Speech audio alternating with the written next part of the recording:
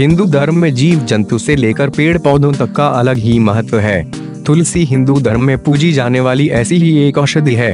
हर एक हिंदू परिवार में तुलसी का पौधा आसानी से मिल जाएगा।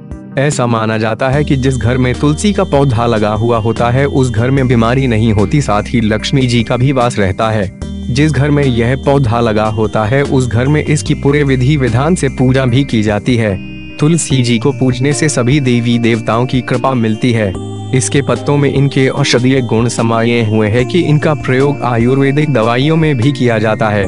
इसकी पत्तियाँ भगवान विष्णु को अर्पित करने से विष्णु जी प्रसन्न हो जाते हैं। हिंदू धर्म शास्त्रों में तुलसी जी के अनेकों ऐसे उपाय बताए गए हैं जिनको करने से सभी कष्ट दूर हो जाते हैं।